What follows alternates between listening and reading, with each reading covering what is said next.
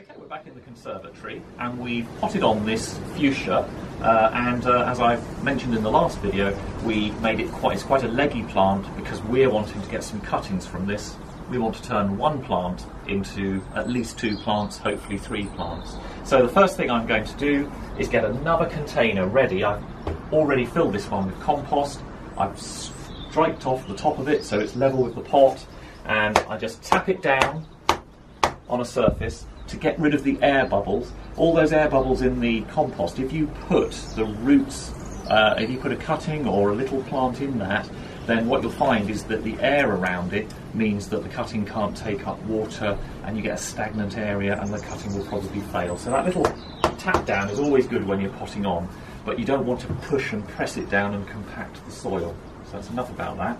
The other thing that I've done is I, uh, I've warmed up my compost. I've had it in the conservatory for a little while so that uh, um, uh, so that it's not all cold and horrible, which wouldn't be very nice, would it? So now I'm going to be quite brutal here. I'm going to cut this plant, uh, this stem.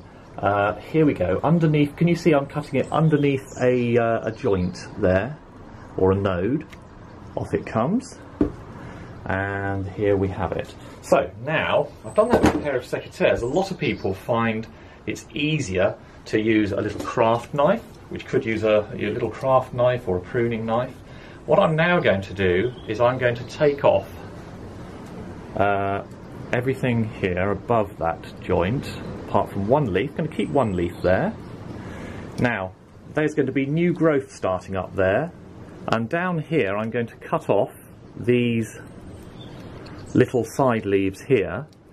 Now where I'm cutting these off, like that, that's where the roots are going to develop.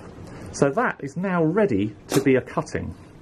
Now you could use a little bit of um, rooting powder if you wanted to, but to be honest, for something like this little fuchsia, I think it's going to root perfectly well without. Uh, some people even say you could you could use a bit of spit or something. But I'm not going to do that either. I'm just going to put it straight into my nice warm compost. I've made a little hole for it. I'm making sure that that joint, that node, is well in the compost. This doesn't need to be as big as this pot. I could have used a little cell. But basically, I'm now going to look after that, have a little chat every day with my, my new fuchsia, and in about a month's time, this should be quite a healthy little plant. It's end of March at the moment, keeping him in the conservatory out of the frost, and we'll have a really nice fuchsia for the summer. Good display in the summer. So let's make a few more of those. Thank you. This video was uploaded during the COVID-19 lockdown, but we're hoping to be able to welcome you to Stansted Park very soon. We're a gateway to the South Downs National Park with some fantastic walks, as well as all the attractions of Stansted Park which make a great day out for the whole family. Hope to see you very soon.